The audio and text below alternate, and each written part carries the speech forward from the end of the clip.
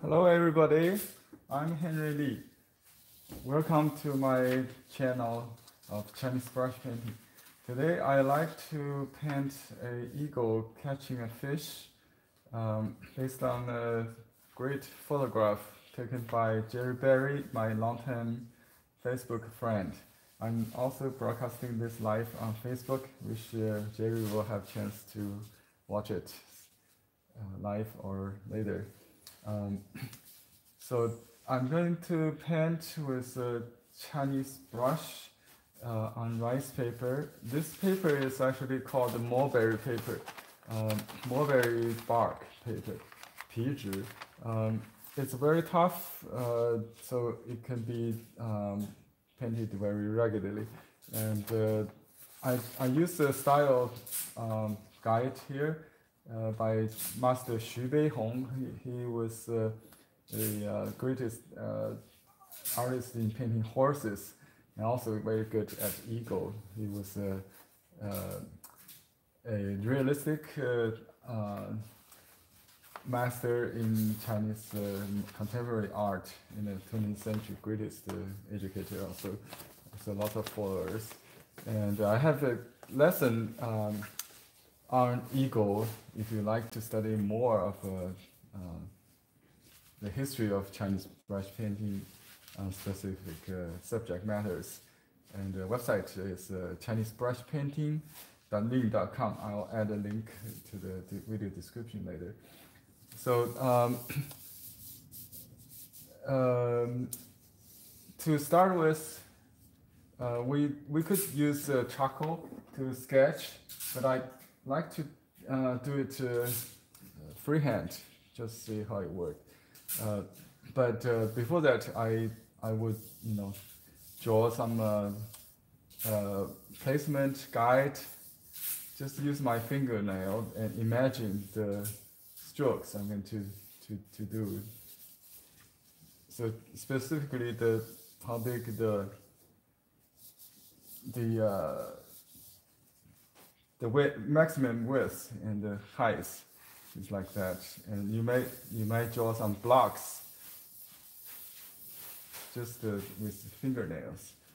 And just, you know, you, you don't paint until you see the image in your mind, right? In the in the original photograph, this uh, this eagle is uh, like leveled. Everything's leveled. I may uh, change it uh, somehow to uh, make it more um, painterly, not like a photograph.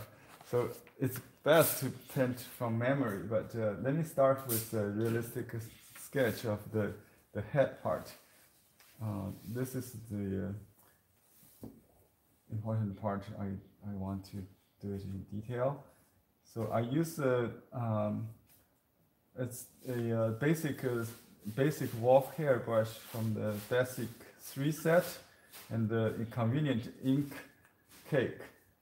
Um, you can also use ink, you know, maybe I, I'll use ink. But this one is uh, um, thicker, you know, when I need uh, to have more body in it. So maybe I combine the two if I need.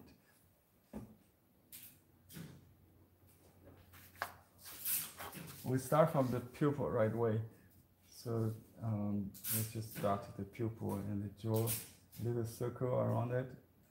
It could be a little squarish, not don't have to be very um, round. And uh, the uh, powerful mouth, stylize a little bit. It's a bald, bald eagle, so with a white hair, that's a little tricky. So I will just uh, use have to use brush. The brush I'm using is my uh, uh, recent favorite uh, wrist hair brush. Uh, you can see I can shape the brush however I want, um, but I need to soak the brush in water first. And then you can use a paper towel to adjust the moisture, so especially the, the, the the bottom of the the brush don't have to be wet if you don't want um, to bleed. This this uh, paper is semi-sized, so it, uh, you can use the the moisture to uh, to draw some uh, to wet the dampen the paper a little bit maybe. To, uh, to get soft edge if you want. so I, I will use a little bit a little bit ink just to the to the uh, brush very dry brush. And then uh, kind of draw the the outline of the white fur of white uh, feather. And I concentrate on the, the shape of the the um, the block, the the uh, the group of not the individual feathers. And you can shade a little bit under the chin.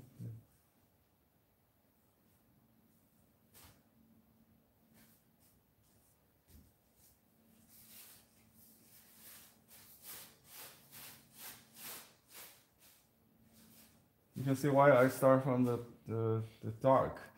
Uh, when the brush gets uh, dry, I just keep keep uh, um, using it, so you will get a natural uh, gradation of uh, colors. I don't have to reload until it is really exhausted, and I use a very uh, light, very light, even water, just you know, to give me some hint for the coming strokes. I don't like to use pencil, it will limit my uh, strokes.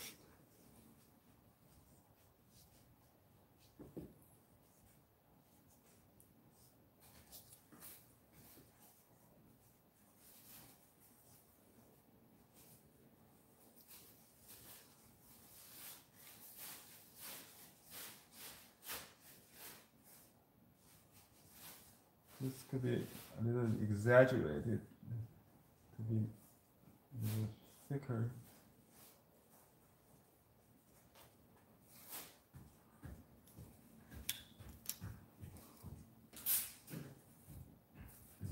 And uh, my reference for the style is this. So it's a combination of uh, line and uh, direct um, calligraphy strokes on the on the for the shoulder part, I want to draw the, the line.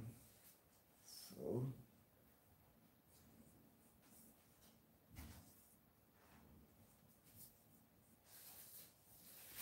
It could be uh, lost in the font lines. Don't have to be continuous, but the idea should be con uh, continued, not uh, the chi should connect.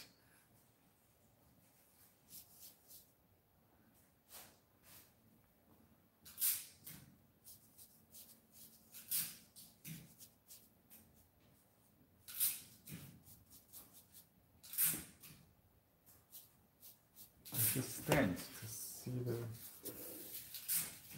when I paint large I should stand. Okay. Now um, let's uh, take the risk to use gray ink. So I'm not um, using the liquid yet.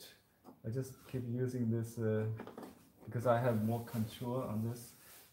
Uh, due to the the uh, uh semi-sized kind of uh, absorbency of this paper, so I don't need much ink, unlike uh, double Xuan or more absorbent unsized rice paper you, you need to load the brush more with moisture and ink.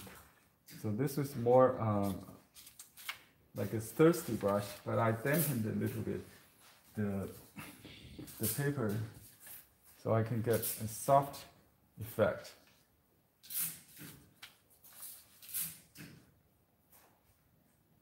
I kind of stay away from the line, you know, if I don't want to, to let it blur let it blur, leave a, leave a li- little room there. This is secondary fine with. I don't have to count, but it's good to know the number. There's 13 of them, and then 10 or 11 uh, primaries. So this is the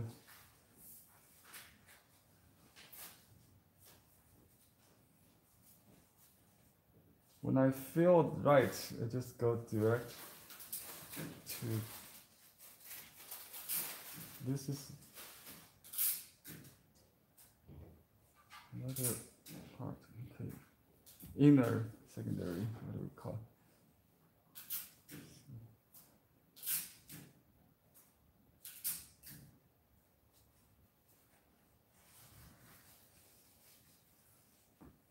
This side.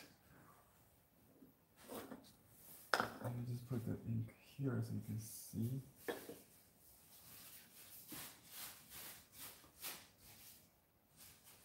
I need some contrast to make the, the board head standing out.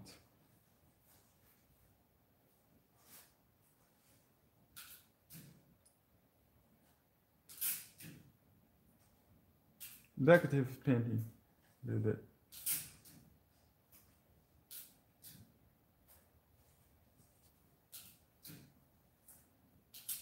This this brush can be used sideways, or you can use like a um, like a hacky ha- hacky brush.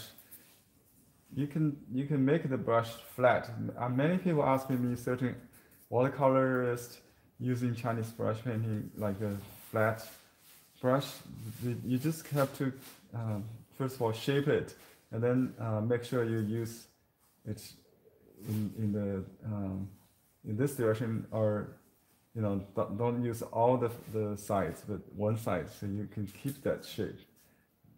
Um, I, I think the brush is really designed the round brush is really designed to, to be used uh, all uh, eight directions maybe not just the um, one direction. So in Chinese print authentic Chinese painting we use it uh, we use all parts of the, the brush not just the, the flat.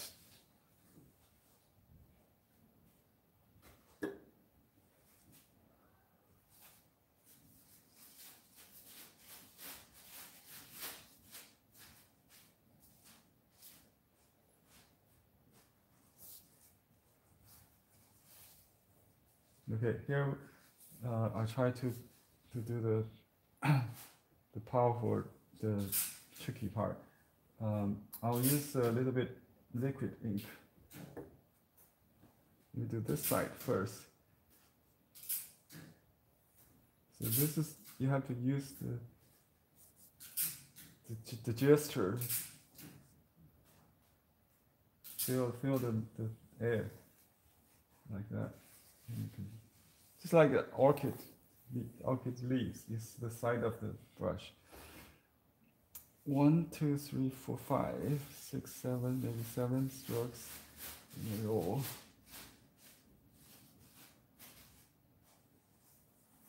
This one should be getting longer, bigger. Don't worry about uh, the uh, assemblance or dissemblance. It, it should be. You know, it every stroke should have the the uh, chi of its, uh, its own, the vitality of it. And it's from your, your own movement.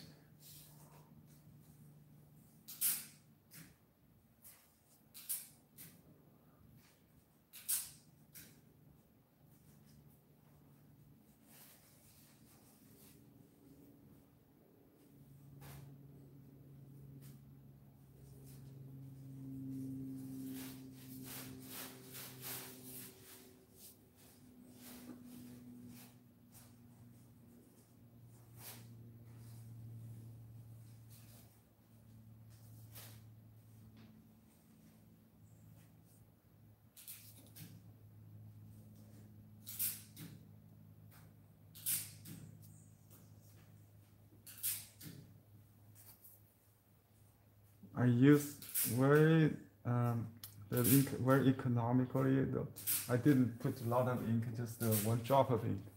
I don't um, got uh, too much ink on my brush. Students always uh, load too much ink, so they they don't like the, the paper, everything they do on the rice paper. Um, this is hard to control that. If you use a thirsty brush,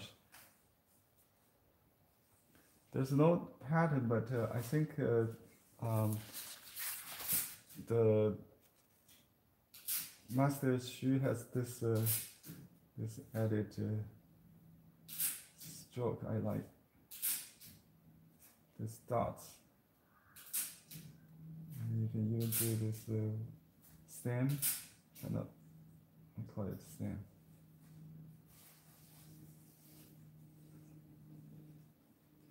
And I have to exaggerate a little bit from the photograph. There's no um, this this part is shorter, but uh, then just exaggerate a little bit.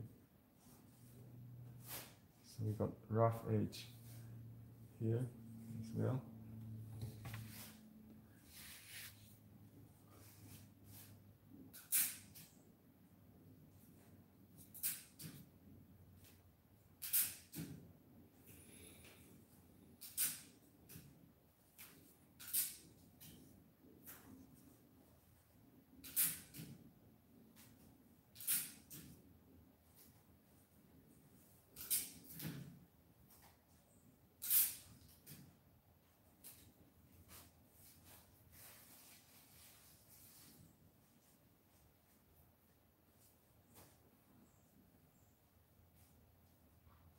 Very powerful. That's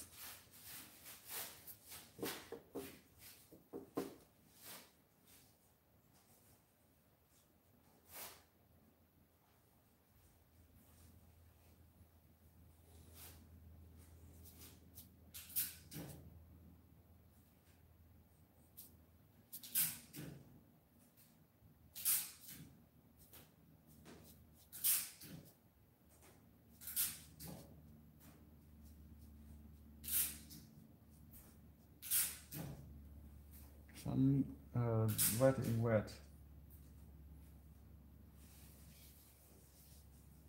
Wet into wet. Get the fairy um, feather, feathery effect.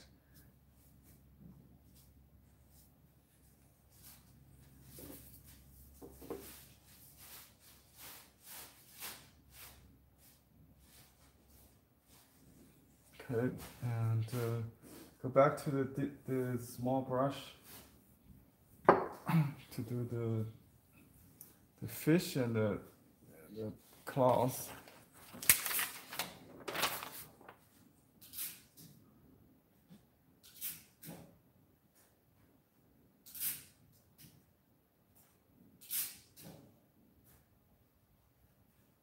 Oops, I think